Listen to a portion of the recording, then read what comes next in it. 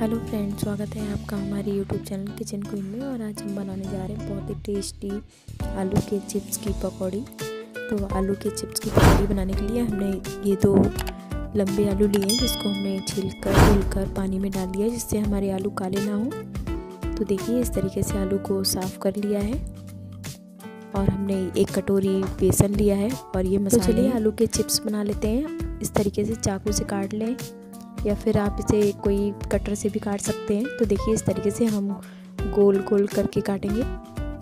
देखिए, ये आलू देखने में बहुत ही अच्छा है। रेड है, अंदर रेड कलर का आलू है। ये बहुत टेस्टी आलू होता है। तो देखिए, इस तरीके से चाकू से हम इसके गोल चिप्स बनाकर तैयार करेंगे। इस तरीके से ये पकौड़ी बच्चों को बहुत पसंद आती हैं और टेस्ट भी बहुत होती हैं बहुत जल्दी बन जाती हैं। तो आप लोग इसे सुबह के ब्रेकफास्ट में बना सकते हैं इवनिंग नाश्ते में बना सकते हैं। बहुत ही जल्दी बन जाती हैं। देखिए इस तरीके से सभी चिप्स को पतला पतला काट कर तैयार करते हैं। ना ज़्यादा मोटा काटेंगे, आलू के चिप्स को पतला काटेंगे, तभी ये बहुत टेस्टी और क्रिस्पी बनेंगे। देखिए, हमने आलू के चिप्स को काट कर तैयार कर लिया है। इस तरीके से चिप्स को भी हमने पानी में डाल लिया है, जिससे हमारे चिप्स काले ना हो। तो इसे एक बड़े बाउल में निकाल लेते हैं।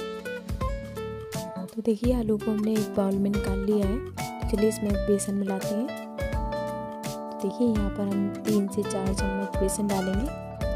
हमारे आलू जितने में अच्छे से मिल जाए, उतना हमें बेसन डालना है। तो देखिए, पहले हम इतना बेसन आलू में मिक्स कर लेते हैं, उसके बाद अगर कम होगा तो और डालेंगे। तो देखिए, टेस्ट के अकॉर्डिंग हम इसमें नमक डालेंगे।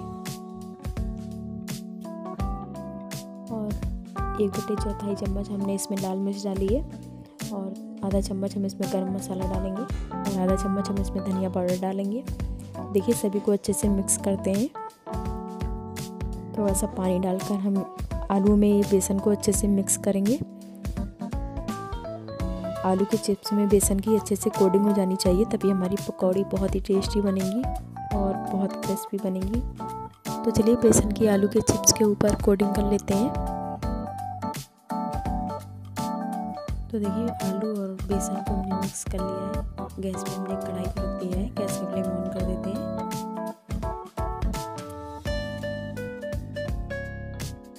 तो देखिए, आलू पे हमने बेसन की बहुत अच्छे से कोडिंग कर ली है। ऑयल हमारा अच्छे से गर्म हो गया। इसमें एक आलू के चिप्स को डाल कर देखते हैं। तो देखिए ऑयल हमारा हाई टू मीडियम पकौड़ी बनाने के लिए अच्छा सा गर्म हो गया है। तो चलिए, इसी तरीके से सभी पकौड़ी को बनाकर तैयार करते हैं। पकौड़ी हम ऑयल में इतनी डालेंगे जितनी हमारी आसानी से आ जाए। तो देखिए, इस तरीके से एक एक करके हम पकौड़ी में बेसन को लगा कर डालेंगे।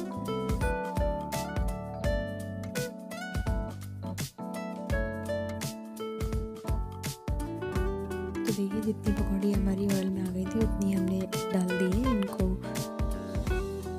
एक साइड से सिक जाने देते हैं, उसके बाद हम इसे इन पकौड़ियों को पलट देंगे। तो देखिए, एक साइड से पकौड़ी अच्छे से ब्राउन हो गई है तो चलिए इनको एक एक करके पलट देते हैं। पकौड़ियों को गोल्डन ब्राउन होने तक सेक लेना है। जब तक हमारी पकौड़ी अच्छे से क्रिस्पी हो जाए, तब तक हमें इन्हें सेकना है। पकौड़ी क्रिस्पी हो जाती है तो बहुत ही टेस्टी लगती है। आप इसे दही, चाय या फिर चटनी के साथ किसी के भी साथ सर्व कर सकते हैं, बहुत टेस्टी लगती हैं। खासकर बच्चों को बहुत पसंद होती हैं तो तो आलू की पकौड़ी आप सुबह नाश्ते में बच्चों के लंच बॉक्स में बना कर दे सकते हैं, ये बहुत ही जल्दी बन जाती हैं।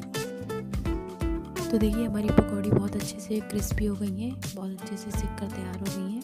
तो देखिए, बहुत ही टेस्टी पकौड़ी बनी है। इस तरीके से इन्हें एक प्लेट में टिश्यू पेपर पे निकाल लेते हैं, जिससे इसका जो एक्स्ट्रा ऑयल होगा वो नहीं रहेगा। तो देखिए, इस तरीके से और पकौड़ी बनाकर तैयार करते हैं। ये बहुत ही इजी है और बहुत जल्दी बन जाती है। तो देखिए, पकौड़ी हमने कढ़ाई में डाल दी थी, इनको पलट देते हैं और ये बहुत अच्छे से सिक कर क्रिस्पी हो गई। तो चलिए, इनको भी निकाल लेते हैं। आप लोग इस तरीके से आलू की चिप्स की पकौड़ी बनाकर ज़रूर देखें। बहुत जल्दी बन जाती हैं, बहुत सरल होती हैं और बच्चों को भी बहुत पसंद आती हैं।